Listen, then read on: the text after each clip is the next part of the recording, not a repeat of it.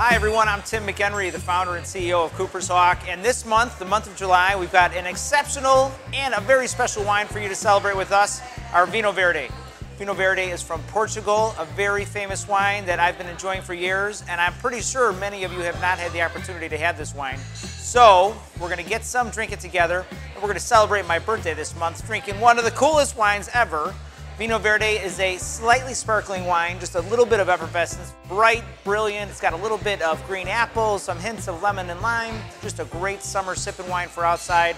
A lot of fun, something really special that I know you're gonna enjoy. So from all of us here at Cooper's Hawk, get in, get some Vinho Verde, and enjoy it with friends and family this summer. Cheers.